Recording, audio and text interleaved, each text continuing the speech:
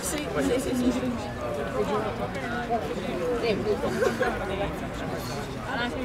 No, ma non può ancora portare Eh sì. Sto immaginando Pina che si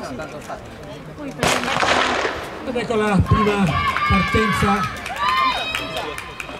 e della Ilaria Porqueddu, l'atleta della formazione Sport e Vita si aggiudica su Giorgia Usaid e su Circarboni.